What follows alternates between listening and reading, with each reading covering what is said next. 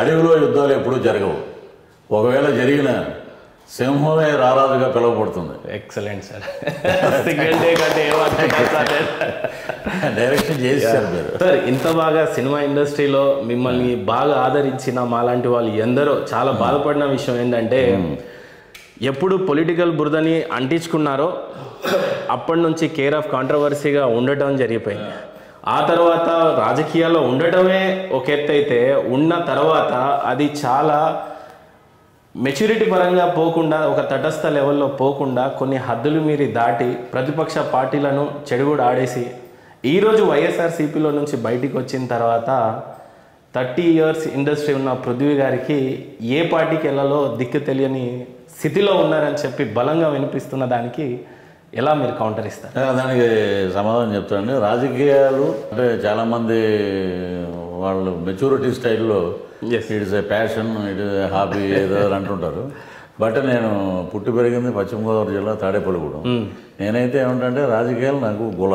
Okay ఒక దొరద. Open statement open statement so అలాగా నేను ఆంధ్ర యూనివర్సిటీలో ఉన్నప్పుడు మా డిగ్రీ కాలేజీలో ఉన్నప్పుడు అట్రాక్టెడ్ అప్పుడు అక్కడ ఏబీవీపీ అని ఒకటి ఉండేది ఆంధ్ర యూనివర్సిటీలో పీడిఎస్యూ అని ఉంటుంది కమ్యూనిస్ట్ పార్టీ. ఏంటి వీళ్ళు మీటింగ్లు ఏంటి వీళ్ళు స్టూడెంట్స్ స్కాలర్షిప్లు రూమ్స్ అవన్నీ ఆ ఇన్ఫ్లుయెన్స్ నా మీద బాగా పడింది. ఓకే.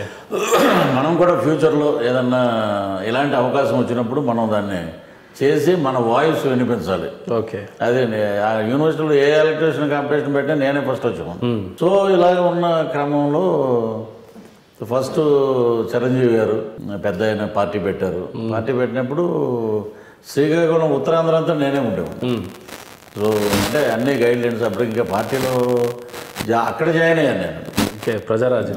అక్కడ శ్రీకాకుళం. అందరికీ తెలుసు. ఇప్పుడు పేరు పేరు నేను పిలవగలుగుతా ఆ కాన్స్టిట్యున్సీలో. తర్వాత తర్వాత ఆయన మరి పెద్దల నిర్ణయం ఆయన వేరే నిర్ణయం తీసుకుని వెళ్ళిపోయారు. ఓకే. వెళ్ళిపోయాక కూడా అది అంత పెద్దల నిర్ణయం అని చెప్పి మేము అందరం సైలెంట్ అయిపోయాం ఆయనే లేనప్పుడు మనకి ఎందుకు ఇది గురించి అంటున్నారు సార్? ప్రజారాజ్యం కాంగ్రెస్లోకి వెళ్ళిపోయింది కదా. ఓకే. సరే ఇంక మనం సైలెంట్ అయిపోయాం. అన్నయ్య లేనప్పుడు మనం ఆ పార్టీకి మనం వెళ్ళలేము. ఓకే. అని చెప్పి సైలెంట్గా ఉన్నాం. ఉన్నప్పుడు అప్పుడు ప్రజారాజ్యంలో ఉన్న కంటెస్ట్ చేశారా సార్ మరి? లేదు లేదండి ticket campaign okay campaign campaign so ticket ఆశించలేదు ఆశించలేదండి. నా నా నా మోటివ్ ఏంటంటే అంటే మనం టికెట్ మీద వెళ్ళకూడదు. నాయకుడిని నిలబెట్టాలి. ఓకే. ఒక నాయకుడిని ప్రొజెక్ట్ చేయాలి. కానీ ఒక ఇది మా చిరంజీవి గారికి అయితే ప్రేమ అభిమానం గౌరవం తాటి మనిషిని దుర్భాషలాడే తత్వం లేదండి. ఓకే. రాజకీయాలకు కావాల్సింది అది. మనల్ని రే అంటే రే అన్నవాడే లీడర్ ఇక్కడ. అవి మనకెందుకు లేరా పోన్లే అనేవాడు. అంటే సౌమ్యుడు మితభాష అలాగ ఉన్నప్పుడు కూడా ఆయన నెగ్గు రాగా రాగలిగాడు. ఓకే. సో ఇక్కడ ఆయన లేనప్పుడు మనం మన సినిమాలు మనం ఇదిలో ఉన్నప్పుడు ఒక అతను వైఎస్ఆర్ అని కొత్తగా ఓకే. రాజశేఖర రెడ్డి గారు అంటే నాకు ఇష్టం అండి బాగా. ఓకే. సో ఆయన ఆశయాలకు అనుగుణంగా ఈ అబ్బాయి నడుస్తున్నాడు. దీంట్లో మనం జాయిన్ అవ్వచ్చు అంటే సరే రెండు వేల పదకొండు పన్నెండు ఒక పెద్ద ఇదిలాగా వెళ్ళిపోయి అక్కడ ఘాట్ దగ్గర రాజశేఖర్ గారి ఘాట్ దగ్గర ఇవన్నీ చేసుకుని అక్కడ నుంచి బయలుదేరి ఇక్కడ జాయిన్ అయ్యాం ఓకే. అది కూడా వైజాగ్లో జాయిన్ అయ్యాను. విచిత్రం. ఎందుకంటే వైజాగ్లో జాయిన్ అయితే ప్రతి ఫంక్షను ప్రతి కార్యక్రమం నేను దగ్గరుండి నేను చేసేవాడిని. ఓకే. ఆ చేసిన వాళ్ళందరూ ఎమ్మెల్యే లేరు. నాకు తర్వాత అనిపించింది మనం అలా ఉండి టికెట్ ఆశించి బాగుండేదేమో. తర్వాత తర్వాత ఏమైందంటే ఆ ఆ జోన్లో రెండు వేల పద్నాలుగు జోన్లో మేము దూరం నుంచి అలా చూడటం అరే జగన్మోహన్ రెడ్డి అంటాయా మేము. పార్టీలో పనిచేసే కార్యకర్తలు మేము మేము కలవటానికి లేదు ఫోటో దిగటానికి కూడా లేదు. ఓకే. అప్పుడు. అప్పుడు. రెండు వేల పంతొమ్మిది వచ్చాక పదిహేడులో మళ్ళీ వెళ్ళి ఇలాగ వైఎస్ఆర్సీపీ గురించి అపోజిషన్లో ఉన్నప్పుడు కూడా ఇతను బాగా కష్టపడి పనిచేశాడండి. అని ఒక అతను చెప్తే వెళ్ళి లోటస్ పండ్లో ఫోటో దిగి ఇక అక్కడి నుంచి మా ఇంటర్వ్యూలన్నీ వాళ్ళ నాయకులు చూడటం మొదలుపెట్టారు. ఇక అలాగే మేము క్యాన్వాస్ కూడా డే అండ్ నైట్ కష్టపడి పనిచేసి అలాగే మా పొలిటికల్ ఎంట్రీ.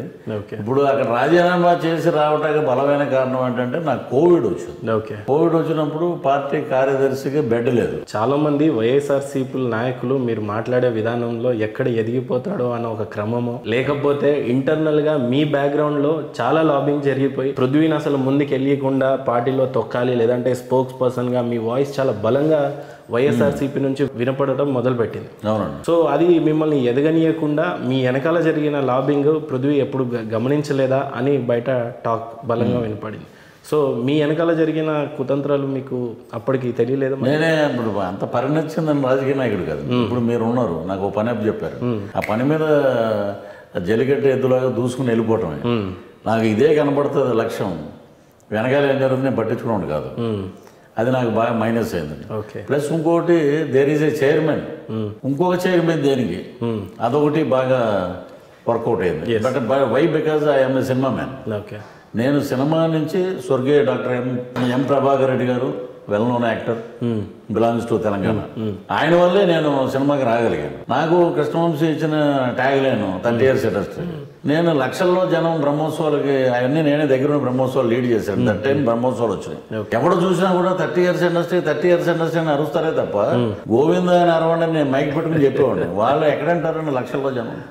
గరుడ వాహనం జరుగుతున్నప్పుడు. ఈ పక్కన భజనలు చెంచాలు చాలా మంది ఉన్నారు వాళ్ళందరూ ఏంటంటే బాగా దూసుకెళ్ళిపోతున్నాడు ఇతను. ఈయనకి చైర్మన్ ఆయనకి కొట్టి భజన చేసి ఎలాగోలాగా ఇతన్ని ఇక్కడి నుంచి బయటికి చేశాడు.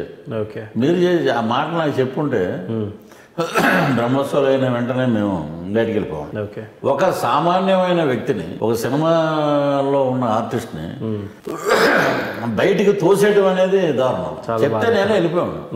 బుద్ధయ్య నువ్వు నువ్వు వేరే చూసుకో. దండం పెట్టి వెళ్ళిపోయాను. ఇప్పుడు నేనేం చేయను మీరు వచ్చారు తిరుమల దర్శనానికి. పృథ్వీ గారు అంటే నా మీదే ఉంటుంది కానీ టార్గెట్ పక్కనే ఎవడ ఉండడం మీరు చూడరు. కరెక్ట్. దాంతో వాళ్ళకి ఎగో క్లాసులు కొట్టినాయి సో మెనీ రీజన్స్ పెట్టి బయటికి పంపించి సరే నేను అన్న నువ్వు నువ్వు తప్పు చేసావని మీరు అనక్కర్లేదండి. వన్ అండ్ హాఫ్ ఇయర్ నేను వెంకటేశ్వర స్వామి దీక్షలో ఉన్నాను. నేనే రాజీనామా చేసి ప్రెస్ క్లబ్లో మీటింగ్ పెట్టి నేనే రాజీనామా చేసి బయటకు వచ్చాను. తర్వాత ఒకవేళ వీడు చేశాడు అనుకుంటే నన్ను అసలు మున్సిపల్ కార్పొరేషన్ ఎలక్షన్కి పిలవకూడదు.